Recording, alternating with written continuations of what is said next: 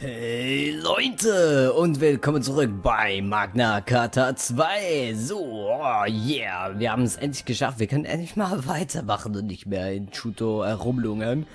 Und ja, ich habe letztes Mal noch eine Nachricht bekommen. Ihr seht es, Blinke Blinke. Ich habe es nur aufgemacht, um zu sehen, wer das ist. Und ja, machen wir mal auf und schauen das mal an. Es ist von Malakia. Oder nein, es ist besser gesagt von Gerua. Und es geht äh, darum, äh, ja, um Malakia. So, an Ru. Ru, ich habe einige Informationen bezüglich dieses Malakias-Mannes, über den wir geredet haben. Er ist ein Soldat niederen Ranges in der Südarmee und sitzt momentan im Gefängnis, weil er der Prinzessin zur Flucht verhalf. Er wird im Sentinel-Labor gefangen gehalten, aber bald in die Ruhalt-Ebene gebracht. Wenn du ihn retten willst, geh dorthin und beeil dich. Okay. Ah, da müssen wir wohl ins Ruhalt-Plateau, um ihn zu befreien. So, es lauern aber noch andere Quests auf uns, und zwar von Junste. Ich muss mit meinem Menschen... Ist ein... Ja, ich glaube, es ist ein Knabe. Ich muss mit meinem Menschen namens Meister Crossell sprechen. Wo kann ich ihn finden? Ach so. Ähm... Ja, Formation. Nehmen wir Shooter wieder mal raus. Crossell kommt rein. So. Alles klar. Ähm, jetzt muss ich dann noch der Aufführer wechseln. So. So, hier bin ich. We met a human in Navy Blue Marsh. He said he was looking for Master Crocell. We were leading him to Kodamare, but... Master Crocell? Marith? Marith has come all this way? But we were attacked by monsters on the way. I was no match for them. It was all I could do to get away. What? Marith has been abducted? I'll go help her right now. What's with you? You gonna go by yourself? Hey, how long have you been standing there? Long enough. Anyway, I heard what happened. I'll help too. You're unbelievable. Well, I guess you wouldn't listen if I tried to stop you. But don't tell the princess. I don't want to worry her. So, you're gonna take on that creature? Well, I can take you to where the monster is. Okay, let's hurry. We're gonna save Marith no matter what. Äh, Ritte Marif, die vom Monster entführt wurde. Äh, jetzt ist die Frage. Ach du Kacke. Nein. Das ist jetzt doof. Das ist jetzt echt... Ach so. Ähm, das ist das Monster. Ähm, ein bisschen doof, finde ich jetzt. 6 und 5. Warum mache ich kein Damage? Ich mache kein Damage. Ähm, Moment, warum mache ich kein Damage? Da stimmt was nicht. Ähm, hier stimmt irgendwas nicht. Was stimmt hier nicht? Muss ich, habe ich irgendwas... Ja, nimm eine Blitzbombe. Oh, das macht Schaden. Aber ich mache kein... Ach so. It's no use. We'll never beat it at this rate. Damn. Crocell, attacking it separately isn't gonna work. Let's work Oh. together. Ich sehe eine Kiste da hinten. Wo bin ich denn jetzt genau? Huh? We're here to rescue Marith, remember? Let's try using the co-op technique. I guess it's worth trying. We should be able to do it using the exact same method as when Zephy and I attacked together. Got it. Just don't trip me up, okay? Äh, Shooter hat Nova-Feuerklinge gemeistert. Diese geheime Coop-Technik kann er nutzen, wenn er... Achso, Zweihandschwert, das ist sehr gut. Und Crozell braucht ein Feuerball, das ist auch sehr gut. Okay. Äh, jetzt müssen wir hier irgendwie hinkriegen. Also, ach, das geht mir zu lange. So. Äh, ich nehme ein Feuerkahnkristall, um ein bisschen schneller voranzukommen. Okay, sehr schön. Jetzt muss ich noch in den Overdrive kommen. Oh, mach noch Feuerzeug. Okay, so, das, das sollte jetzt klappen. Jawohl. So, Nova Feuerklinge. So, schauen wir mal das an. Habe ich noch nie gesehen. Ich habe eigentlich schon gar nichts äh, gesehen von den Koop-Technik. Ich werde mal irgendwann mal einfach mal alle zeigen. Also, ich versuche es mal alle zu zeigen. Und was für ein Schwert hast du an? Weil wir haben ja jetzt schon recht viele. Also eine Koop-Technik habe ich mal benutzt mit Sefi und Aru. Aber ja, ich habe es, glaube ich, beschleunigt. Darum werde ich das auch nochmal zeigen. Okay, sehr schön. Das macht Schaden. Und das macht wirklich Schaden. Jetzt ist aber fertig. Ja, schon gedacht, es gibt noch mehr Schaden. Okay. Was hast du für ein Schwert an? Das ist mir neu. Äh, boah, er ist tot. Ähm, jetzt, sind, jetzt ist doch hier irgendwo noch... Äh, jetzt ist die Kiste wieder offen. Wo bin ich denn jetzt? Sag mal, äh, ach so, das ist da unten. So. Wir haben Marif schon gerettet. Das ging eigentlich recht gut. Von Lebenspunkten her. Ah, Chuto hat was verloren, aber egal. Marif retten. Yeah!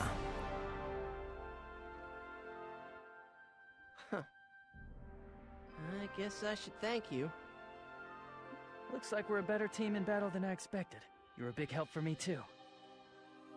Anyway, I'm just happy it turned out okay, Mari. Thank you so much for saving me, Master Crocel, Master Juto. Still, why did you come all this way anyway? Wait, you heard the rumors about us, right? Yes, and I thought that these must be trying times for you, Master Crocel. So I wanted to offer whatever meager services I could to assist you. Whoa, you guys are amazing! Still, maybe that talking could wait till after we get back to the village? Uh, I don't want to hang around here.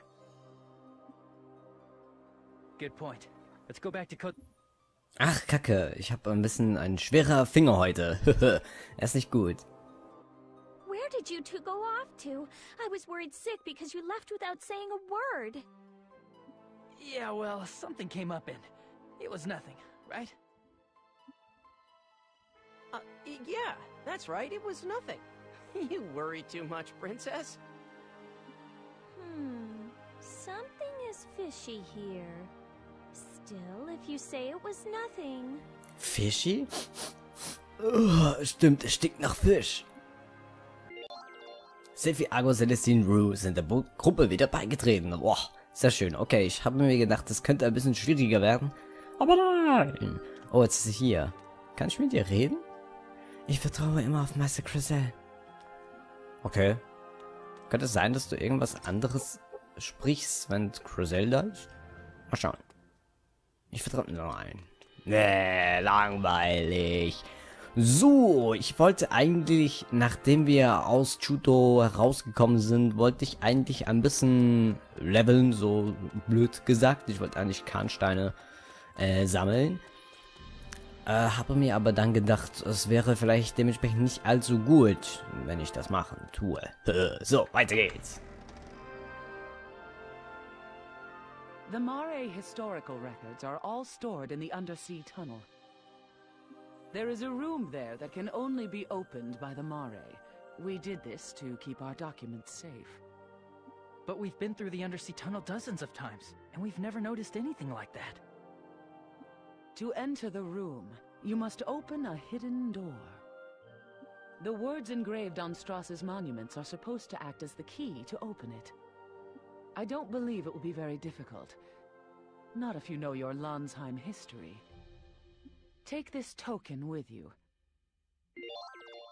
Mare-Siegel erhalten. Yeah. Okay, wir müssen, so wie es aussieht, in der unterseeischen Tunnel wieder mal gehen. Um dort auf die Suche nach einer verborgenen Tür zu sein. Eine verborgene Tür zu finden, könnte schwierig werden. Ja, so, also wir machen uns auf den Weg zum unterseeischen Tunnel. Wir sehen uns dann gleich wieder. Okay, Leute, wir sind mit Frauenpower unterwegs. Haha. Und äh, ich habe an Celestine mal wieder einen Machebogen angezogen, weil, ja, ich habe jetzt Sefi wieder und ich will dementsprechend mit ihr eigentlich ein bisschen mit dem Zepter rumalbern. Und, nee, sie hat noch das Schwert an. Warum hast du eigentlich noch das Schwert an? Auf jeden Fall habe ich mir die Steine wieder mal ein bisschen gewechselt. Ich habe ähm, bei Rue hatte ich ja minus 2k Einsetzung drin gehabt. Die habe ich jetzt gewechselt. Die habe ich jetzt an äh, ja, immer noch an Rue gegeben, und, aber zwar auf einen Shuriken. Wow, 2000 Erfahrungspunkte. Äh, auf die Shurikens gegeben, weil die Shurikens haben dementsprechend viel mehr Attacken, also Skills auf der Seite, die sehr viel kann kosten. Da habe ich mir gedacht, ja, dann nehme ich das lieber mal dahin. okay, so. So wie es aussieht. Moment mal, ich muss mal die KI-Einstellung anschauen. Nice Ziel angreifen, einfacher Ziel angreifen, aggressive Skills verwenden, Priorität als Zauber, das ist gut. So. Okay. Ja, ich hoffe jetzt mal, ich kann da irgendwie das Zeug hier einsetzen. Oh, Moment mal, ich kann hier mal wieder... Kann ich das mit dir machen? Impo-Schwung. Ja, ihr seht, das braucht nicht allzu viel Kahn hier. Ähm, ich will jetzt mal wieder ein bisschen Kahnkristall sammeln. Ähm, ich, ich werde das hier alles rausschneiden. Ich werde dann wieder reinschneiden, wenn keine Gegner mehr hier sind. Ja, bis gleich. Okay, die Gegner sind alle tot. Ich habe hier mal schnell gespeichert und bei diesem Avis-Typen habe ich noch ein paar Wiederbelebungskapseln gekauft, weil ich ja dementsprechend keine mehr habe, weil ich alle gebraucht habe. So, also irgendwo hier sollte doch... Ach so, ich muss jetzt... Ich muss mich jetzt bis zu Strass durchkämpfen. Um... Warum ist das... Ist die Tür sowieso immer zu? Ich hätte gedacht, die wären jetzt offen, aber... Okay. Also ich muss mich jetzt noch bis zum Strass äh, Grab hier durchkämpfen und boah, mal schauen, ob das überhaupt noch gut geht. okay, Leute. So, ich habe jetzt äh, diese Brücke hier unten überquert. Äh, mit dem Kampf gegen diese zwei Biester hier. Und wir stehen jetzt wieder kurz davor, Strass Grab zu betreten. Aber ja, es ist ja dementsprechend nicht das Grab von Strass selber. Aber ja, so mal schauen, ob wir da die verborgene Türe finden.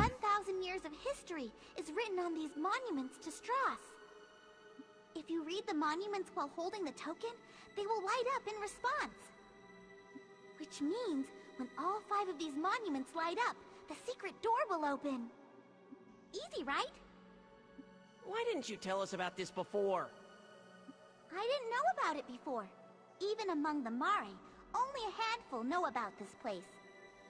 The chief told Zephy about it because she trusts her. I'll have to thank the chieftain for her faith.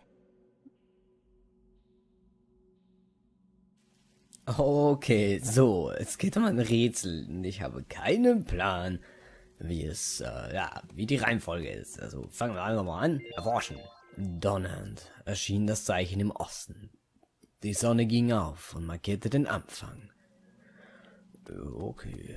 Uh, ich muss jetzt das Zeug hier mit der richtigen Reihenfolge äh, ansprechen. Donnern, dann schien das Zeichen im Osten. Die Sonne ging auf und markierte den Anfang. Okay. Das ist das gleiche. Hm, Osten. Ach so, das ist vielleicht ein Rätsel. Äh, Osten, das wäre hier drüben. Dann wäre das der erste. Ein neues seefahrendes Volk aus dem fernen Osten. Oh, Kater schimmernde, seltsame Juwele auf euren Körper. Möge eure Macht euer Untergang sein. Die Ankunft anderer Völker bedeuteten Krieg. Als die Sonne unterging, erschien der Unglücksstern und die Welt versank in Dunkelheit. Okay. Äh, leuchtet da jetzt was auf? Bin mir jetzt nicht sicher. Ich glaube nicht. Es glänzt so. Ah, doch, Moment mal. Es glänzt ein bisschen. Yep, das leuchtet auf. Okay, so. Wir haben leider irgendwie keinen Anhaltspunkt bekommen. Ähm, kann ich jetzt das nochmal lesen? Die Straße ist abgeriegelt. Das Licht des Steinmonuments schwindet langsam. Ach so. Äh, doof. Okay, ähm, gehen wir mal in die Mitte. Die Straße ist abkriege, das nicht steil und schwindet langsam. Okay, das war es nicht. Aber das, das ist doch vorbescheuert. Versank, versank, versenken. Da könnte vielleicht ein Süden unten sein. Mal schauen. Die Straße, nein. Okay, doch nicht. Also wir haben jetzt zur Mitte angeschaut. Jetzt gehen wir mal nach Norden. Immer nach Norden. So. Und die, okay. Dann wird es auf der anderen Seite sein. Okay, sehr gut. Äh, die ersten das erste Zeug haben wir jetzt schon mal herausgefunden. Ich, das sollte jetzt eigentlich hier sein. Ansonsten habe ich keinen Plan mehr. So, die Prophezeiung wurde Wirklichkeit. Die Gro der große Krieg begann. Die schrecklichen Kater beherrschten das Land. Die Völker sahen ihr Ende nahe. Schaut in die Finsternis und trotz der Verzweiflung, denn die reich, reiche Seele leuchtet und der Südstern glänzt in der Dunkelheit. Süd, Südstern, Süden, Süden. Sehr schön. Ah, ein Held wurde geboren, Sohn eines Kater und einer Menschenfrau. Er baute eine fliegende Festung und vertrieb die Kater aus dem Land. Fliegende Festung, Norden. Geht nach, ah, geht nun nach Norden, wo unser König ist. Jetzt setzt Fuß in die königliche Stadt, in der das wundersame Licht leuchtet. Okay. Dann gehen wir mal nach Norden. Ich hätte jetzt mal gedacht, es wären wegen dem fliegenden Teil, aber Wunden eines ewigen Krieges. Eine Welt in Schutt und Asche unter und, und unter Verzweiflung begraben und die Lebenden verfahlen den Reizen des Todes.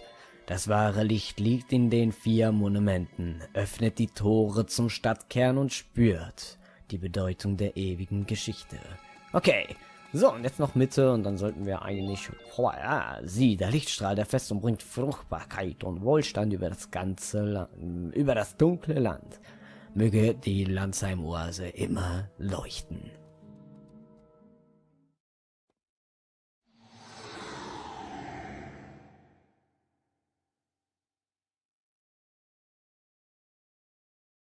Yeah, Rätsel gelöst. Boah, bin ich gut. Oh yeah, ich hab's doch richtig im Griff. Oh, bin richtig stolz auf mich.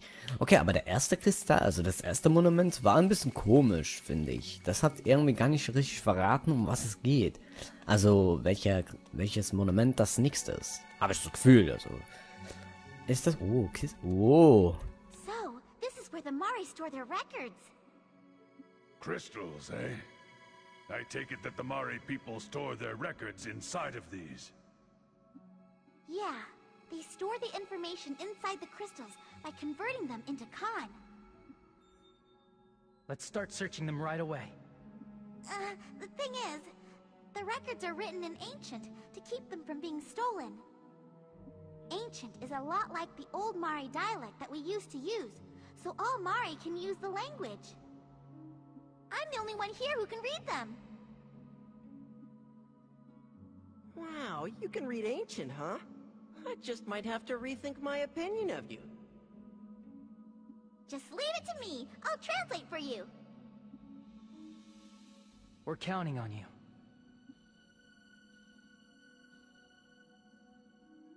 Oh, look! Here's one about those possessing common. Blood ties to Magna Carta.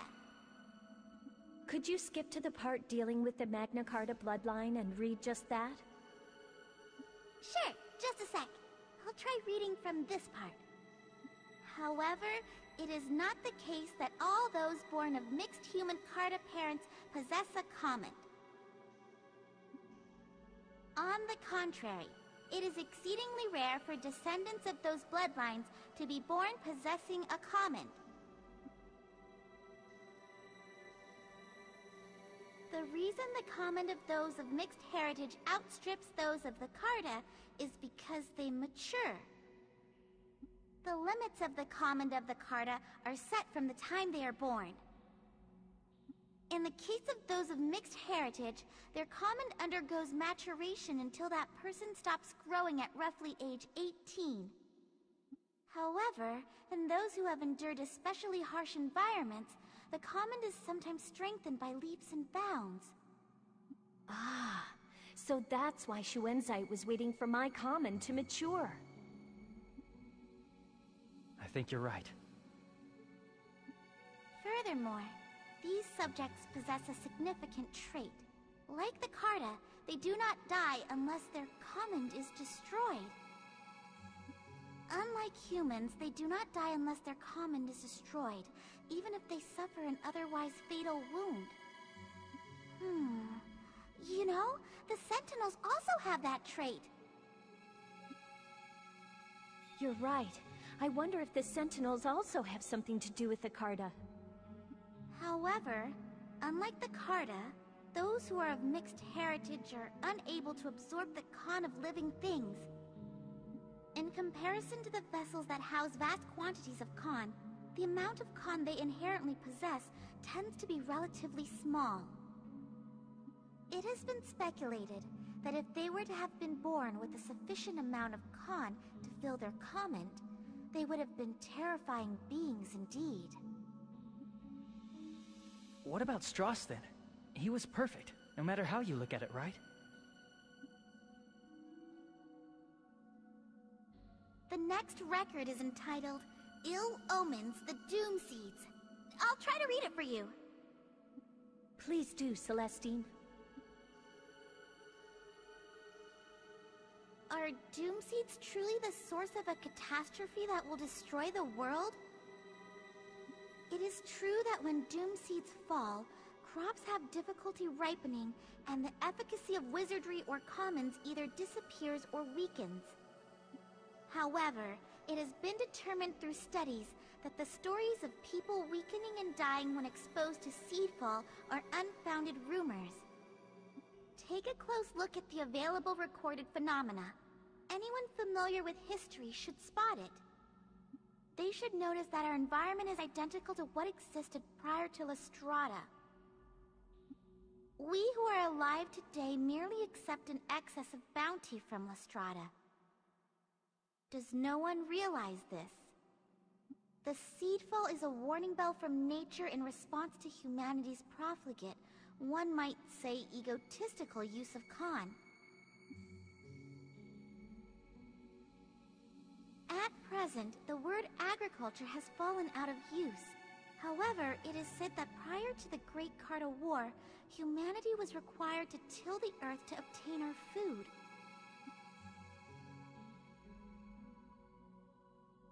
In the era before the appearance of Lestrada, human wizardry was capable of little more than lighting a candle. The humans who lived before then were no match for Cartas who could throw gouts of flame. The data clearly shows that the rapid advances in human wizardry all occurred after the appearance of Lestrada. It's almost like they're saying that the Doom Seeds aren't a bad thing at all. I have absolutely no idea what the heck they're saying. Well, I guess all this might be a little over your head. Hey, you're making fun of me, aren't you? Now that I have my memory back, it's like I have more facts at my disposal, too. It's opposite of how things used to be, huh? Nobody asked you.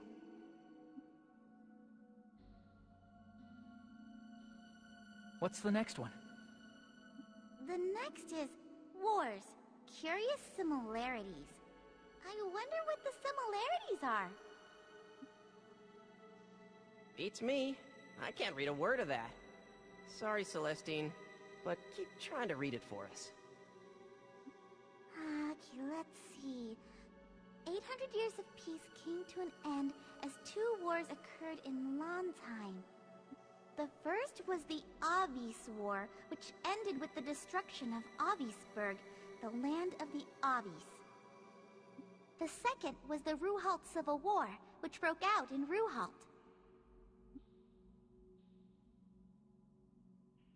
A person called Tots invaded Avisburg using a monster weapon called the Demon.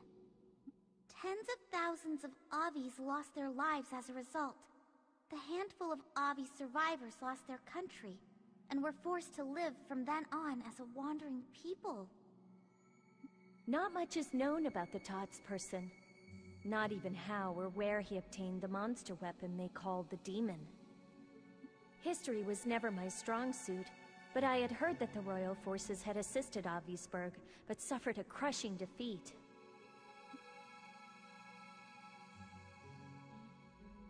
Demon annihilated the Avisburg forces.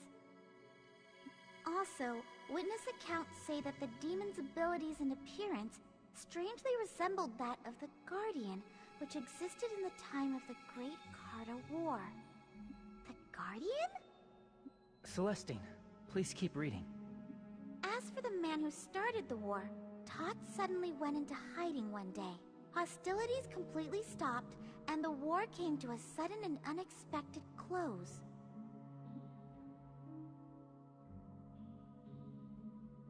Then, 150 years after the end of the Avis War, war broke out again, this time in Ruhalt.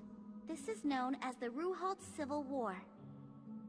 This was a rebellion begun by a human aristocrat named Srotz, who was plotting to depose the royal family, which was eventually put down by the royal forces. This war also claimed tens of thousands of victims. However, Srotz, the ringleader who started the rebellion, disappeared and was never found.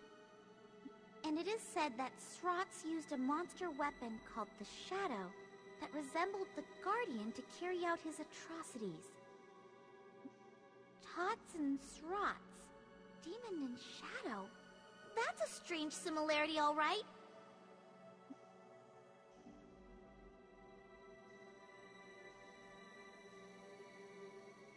There aren't many accurate contemporary records of the war remaining, but they say that the battleground areas were scorched, and the Lansheim Royal Forces troops sent there faced a hard fight. Plus, it seems that both of the ringleaders who caused these wars somehow managed to disappear. They have an awful lot in common with the war we're in now. It's strange.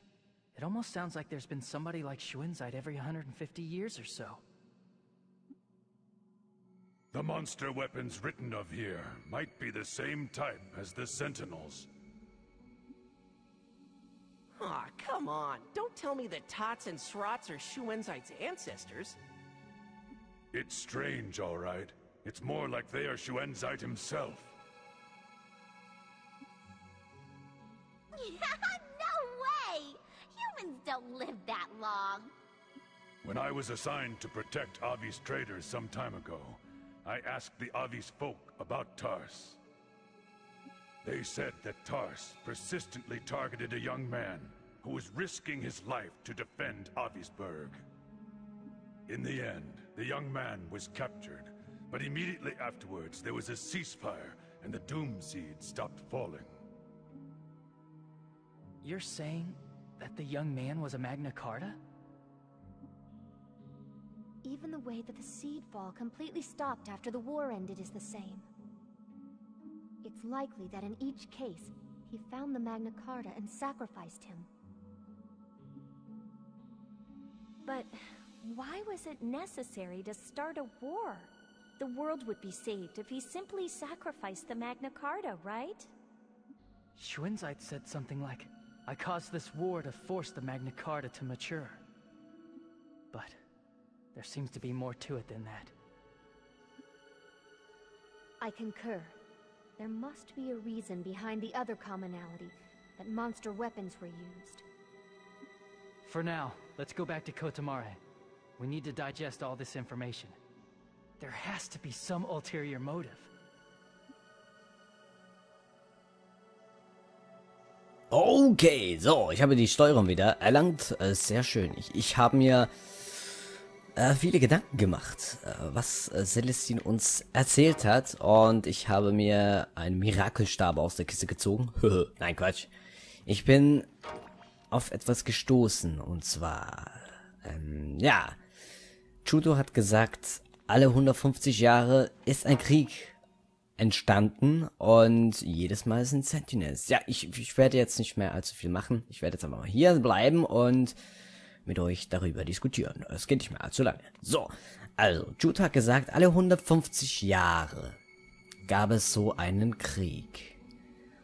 Und so wie es aussieht, sind auch Sentinels eingesetzt worden und das Ziel des Krieges war eigentlich immer der gleiche und zwar die Opferung einer Magna Carta, um der Doomseeds, also der Saat des Untergangs, zu stoppen.